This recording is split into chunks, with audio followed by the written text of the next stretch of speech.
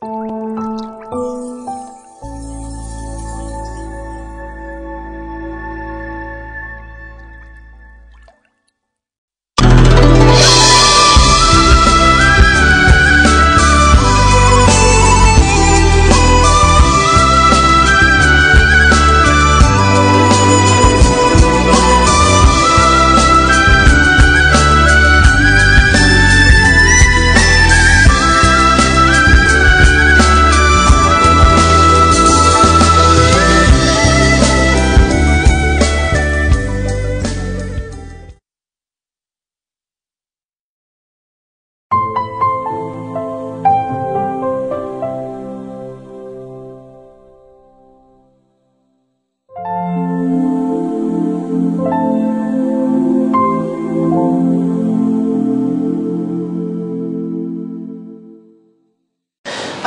那这时候其实马真人也快过世了哦，他就是在六十一岁这一年过世哦，哦，他这一年就过世哦。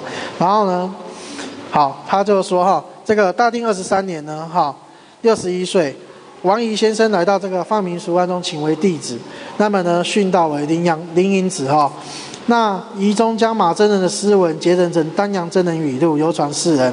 四月化缘到了福山，六月初呢，黄县道友居请居住金玉庵。当时道庙的竹子都枯萎了，啊，马真人念咒祈祷，枯萎的竹子又复活了。道友又在庙里新种小松树六棵，当时夏季大热天，小松树变色枯萎了。马真人三次布树布气，小松树又活了起来。十月化阳化元之阳，十五日文灯坐教法事，重阳帝君坐在白龟莲花座上面，出现在空中。然后县长这个这个 要怎么念呢？泥泥标是不是？倪彪虎以及全县地方官跟乡民共同看到仙言，大家都称赞不已哈。这是从古到今难得一见的显化事迹。十二月二十二日呢，真人居住莱阳，啊，旅游仙宫，天宫有打雷声呢，这一个雷声哦，响彻云霄。马真人卧佛，啊，卧佛岁时仙逝，享年六十一岁，啊。那么呢，邱邱长生呢，跟王玉阳两位真人就一起。去办理他的丧事，守坟百日之后，各自回去修行。我相信这些写的都是真的，因为他连小松树不，这这这这么小的事情都写那么清楚，我觉得这应该是史实啊！哈，他写的很细。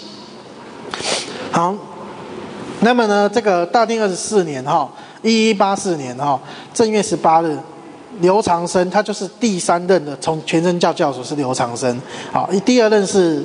这个马丹阳嘛，好，之后就给刘长生接管全真教教主了哈。那么刘长生接管之后呢，好，他也是在主持那个马真人的这个丧礼哈。他在这个啊监阳江守敬家做哦做做教法事哈。到中午的时候呢，竟是这个刘少主亲见到重阳帝君，就是王重阳啊，穿着天庭的官服哦，在云中出现。那马真人就头发绑了三个马尾哈，然后身穿白色衣服在一旁服侍哈，这个。房又多打一个字可以去掉，那两人在云中显化，过了一阵子才离开啊。那五月呢发生大旱灾，十一日呢，这个登郡太守请刘长生真人祈雨，海市蜃楼又出现在主岛哈。第二天晚上呢，马真人又显现在这个应仙桥的西北方哈。那么身旁有仙童服侍，余信等二十一人哦，都亲眼看到这件事情哈。那一天就下大雨，解除了旱灾。马真人之后的陕西的全真弟子呢，都以中南为主题，想要把马真人的仙骨移到刘蒋村。山东弟子则以马真人本是东牟人，行礼将他安葬的是刘长生与王玉阳二位真人所主持，最好不要移动。双方各把持自己的意见，互不相扰。我觉得这很糟糕啊！全真弟子不好好休息，在抢这个东西，你看对不对？啊，好，是不是？这是然后呢？他们还说什么？义县的门徒还怀疑是陕西门子偷走仙骨啊！这个这个史料写的好清楚哈。那那个乙巳年呢，公元一二四五年呢，正月二十四日呢，县长这个刘公开棺检查哈。就发现这个马真的容貌好像生前一样，肢体柔软，于是请人呢解法更衣，至九月的时候再以石棺安葬。马真人有洞玄金玉集、剑物集、丹阳神观唱、丹阳语录。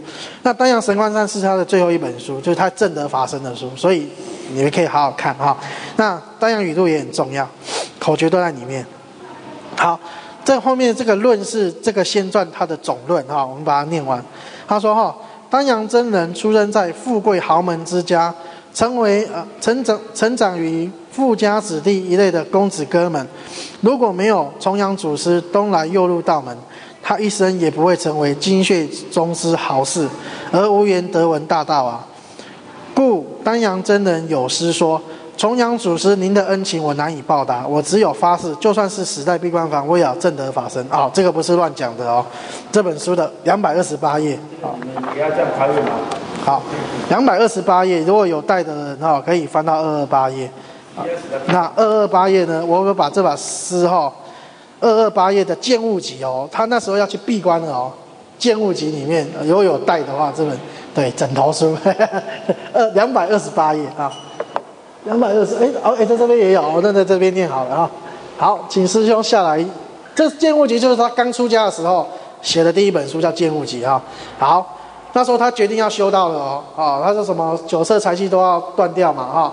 然后呢，好，这边哦，他发誓哈，誓死赤脚，下不饮水，东不向我。这是他这个时候是闭关，他立的誓愿是从《剑物集》里面开始发愿的。我今誓死还堵内。下绝良泉，东避鸿儒，任正丹炉水火源。施恩欲报勤修养，练功喷铅行满公园，做个蓬莱赤脚仙。好，这个时候是他发那个大愿嘛，哈，他要赤赤脚修行。好，就这就是他说的啊，他他要发誓，就算是死，他要死在必要法，也要正得法身哈，誓死这样。那反过来说。全真教如果没有马丹阳真人呢？重阳真人如何明灯仙版？哦，中的诸位古仙能够被世人已经知道是很幸运，因为重阳真人只有两年的时间嘛，两到三年时间度化马丹阳就离开了。好，那么呢，钟离权呢，人家可能也不知道他哈，跟吕纯阳两位帝君可能就会像赤松子跟殷长生这些真人哈，他们不知道他是从哪里来的神仙，也不知道。他到去哪里了？更怀疑是文人笔下创造的故事。若没有马丹阳真人呢？世间怎么能够知道他们真正的事迹呢？按照重阳帝君成仙飞升以前告诉弟子说，丹阳已经得到长生，长征已经知道我不会担忧了。秋长生与秋长春则还没有悟到，能够。开悟行大道的人，如果之前没有得到的人常常跟他耳提面命，那他还能不能成道呢？实在是无法想象。所以唐长生、刘长生、邱长春虽然名义上是重阳祖师的门下弟子，其实真正教导他们的是马丹阳真人。所以说他们是丹阳的弟子也没有错。好，四位真人呢？这个孙不二元君也是得到马丹阳的。口传心授，好，这个口诀我们可以看一下，很重要的哈，在二百二十九页，就是在下面一点哈。他给，因为你有两次，他不是来找，呃，不是他来找，是孙不二找他了，不是问两次嘛？他怎么休息？然后有一次是他给两次口诀哦，这个口诀可以看一下，两百二十九页。好，有一个叫做正正孙姑，就是给顺那个孙不二。好，我们再往上一点。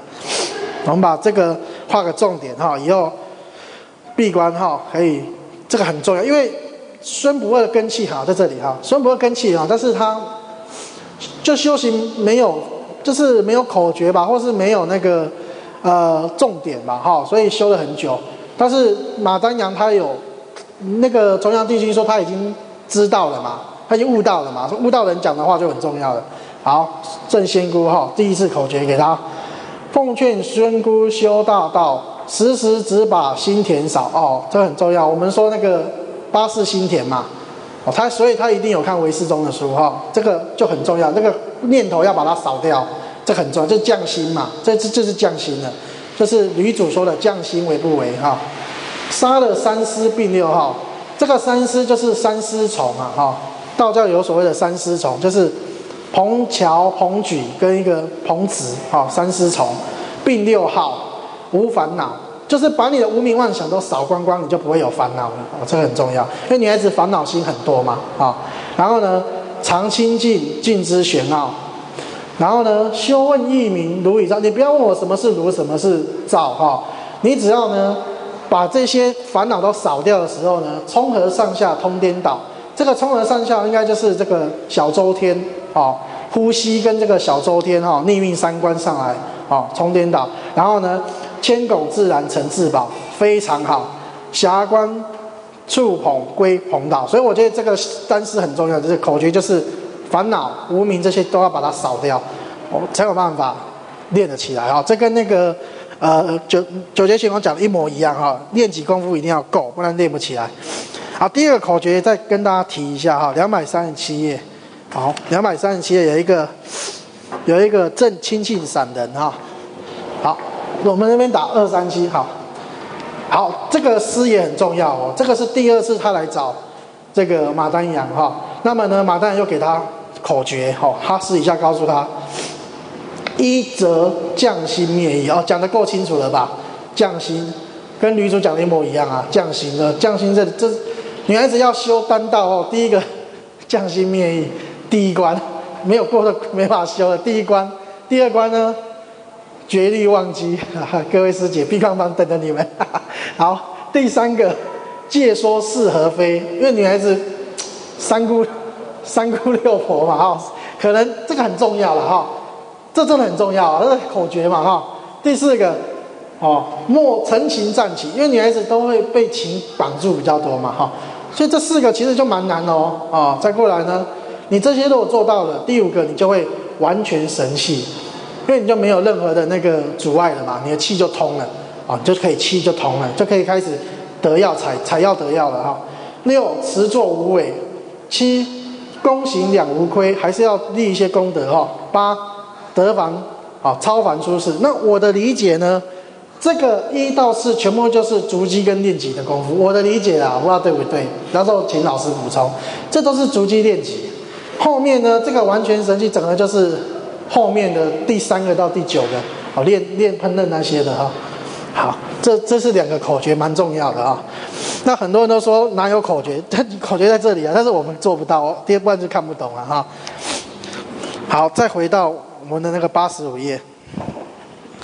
好，孙不二元君也是亲自得到马丹阳的口传心心授，哦就是短短的两首诗而已哦。所以这里面几乎很少写给那个，我翻了很久，我真的很认真翻。他哪里有写给孙不二的啊？就这两首诗没有了。可见这真的就是口诀了，他没有其他诗了哈，就没有了。然后呢，这个是不需要议论的事情哈。那王玉阳真人呢，虽然是独自隐居在铁茶山哈，然后最后也是等待。丹阳真人往东回来时候呢，得到修真的认可指导，才能够修道成功。好太古真人呢是全真门中的流浪门徒，一开始受教于王玉阳真人，后来向四位真人学习，一直受到丹阳真人的冷落、唐长真真人的斥责，才努力发奋于沃州桥下苦修六年，证得天仙果位。实话说来，如如果没有马丹阳真人，就没有北七真了。丹阳真人实在是全真教。的中流砥柱，在上承受正阳，这个正阳就是钟离权啊，纯阳就是吕洞宾哈，重阳就是王重阳啊，三位帝君的训示呃圣训，在下呢开道家万事不堕的功功绩伟业，使亿万数的凡夫俗人呢早脱三途之苦，后来修行的圣者真的能够。其正天仙果位是马真人伟大的贡献啊，这个应该是慈悲啊，哈，这打错了哈。而因因为马丹阳真人的大功大德，所以呢，长春真人在水云集中呢，一直称丹阳为师叔，且有认证丹阳师父语的诗句哈。那么秋长春真人在大定二十八年奉诏之时呢，即奏请皇上啊，塑造重阳啊，纯阳、重阳、丹阳。三个祖师的这个圣像在道观，那么七真之中呢，都公认马丹阳真人为师父或是师叔哦，而恭为其下，不敢与他争上。好，悟意哈，最后是一个一个悟意哈。他说哈，这个富贵荣华全小可，余生性命天来大，火风地水是福哦，好把甲躯先看破。这首诗呢，是在这个昆仑无为清净丹阳马真人的《洞玄金玉及卷这个卷一的诗词哈。在四十五岁那一年呢，马丹阳真人遇到了重阳祖师。那一天呢，丹阳真人哈宁愿喝得酩酊大醉，行为豪放不羁的他呢，感叹生死无常。因为壮年的他呢，富贵双全，有妻子儿女，已经享尽一切世间荣华哦，富贵荣华。一般人呢会坐享酒足饭饱的富贵生活，但马真人是天生仙骨，他反而感叹。喝得大醉的我，哪里有人肯来扶我一把，让我超脱这人间的气数？就在马真人若有所感、喝得大醉的时候呢，重阳只是突然闯进来哈。马真人问说：“你是何方神圣？从何而来？”马真人马上一句话批下去：“我从陕西千里而来，特别来扶你这个罪人啊！”这个精彩的故事呢，是马丹阳真人见到王重阳真人的序幕。那么马真人在这个《洞玄金玉集》卷一号。要说这首诗啊，富贵荣华全小可，余生性命天乃大，火风地水是福我，好把甲躯先看破。可见修行人呢，要把这个荣华富贵哈，还有这个未来心、名利心呢，要看破也不容易，因为他就很有钱了嘛哈。那马真人有智慧呢，只要把把这个富贵荣华当做小事哦，那身家性命才是大事。然后呢，我我们首先要能过这一关，才能安贫乐道。很多人连这一关都过不了，所以修行没那么容易。所以这句话是马丹阳他写的，所以我觉得这不容易哈。那么呢，第二个哈，立树立欲，树立欲于欲来譬喻，马真人夫妇能分离，分离必立欲大道，夫妻舍爱成仙女。王重阳对马丹阳真人是极为严厉的。自从重阳真人百日闭关后，又分离石化。闭关中的书信往来都记录在《重阳分离石化集》一书。祖师律劝丹马丹阳与孙富春夫妻要断恩爱，所以呢，夫妻生儿育女后，若是还断不了恩爱的牵缠，建议夫妻不妨多读《重阳分离实话集》一书。白天重阳祖师出阳神视现真道，晚上又在梦中点醒生死无常。虽是如此呢，要让大富大贵的马丹阳真人放下一切来修真，很不容易。一年百日的闭关与分离再三劝导下，马丹阳终于对重阳祖师完全佩服而出家拜师。隔一年，也就是四十六岁有一天呢，重阳真人说马丹阳修道破功，丹阳吓了一跳，问师傅：“您如何知道？”重阳真人说：“你昨晚偷饮酒了吧？”那真人惭愧地说：“因为弟子服多了药酒。”重阳祖真人啊，重阳真主说：“你既然这么爱喝人间的酒，就不配喝天上的仙酒。那你尽量喝吧，但这辈子你只能喝到四十九岁。”用力擒捉马丹阳，还堵闭关验真道，烟霞洞消磨业障，乞讨饭岛人我山。这一句话呢，仿佛拿一桶水泼在马真人身上打醒啊。同年的三月呢，王祖师决定呢开烟霞洞，马真人也移居烟霞洞，每日挑水劈柴，开山凿石，辛苦万分。又怀念呢妻妾子女，孰心不死？哇，这个韦世慈之语，因感这个偏头痛啊，所以呢有若这个斧劈，痛不可忍。这一段故事呢，是为了磨去马丹阳真人的富贵骄惰之心。当然，故事的结局我们知道，马真人下山又上山，从此拜师之礼。七真之中，只有马丹阳拜过两次师。因为重阳祖师知道一个人的习气不是如此简单就可以收摄，一定要用力擒捉，再放虎归山。等到业障全部现前，跪地求饶的时候呢，这才是马真人真心入道。四十七岁四月，祖师又令马真人至宁海乡中启化前米。真人曰。教别个弟子起话如何？余有怨不还家乡。重阳怒，打之无数，至平淡方止。真人复有退道之心，赖长春真人及时劝阻。初上街，重阳又为真人种一头小角儿，然后脸上抹上脂粉。其实真人不怕撞见儿女，只怕撞见亲家。这放倒人我山的考验呢，东躲西藏哈，到。光明正大的祈祷，完全放下富贵人的身段哈。马真人写下写下有一句有名的诗句啊，这个就是刚才念过，就是度化那个死啊史楚化的诗啊。行尸走骨有何休？勿为衣餐乱起愁。学我上街常长辈，随缘起化最风流。马蜂飞爱杯中酒，银耳阶前闲展手。随度日随缘住道场，不劳出药问虎口。无妻无子亦无女，天事逍遥已醒悟。休妻方寸莫慢人，暗中神明常查炉。福名福利尚难求，利岁名成卧土丘。不到神仙非小事，平虚躬行赴鹏赴瀛洲。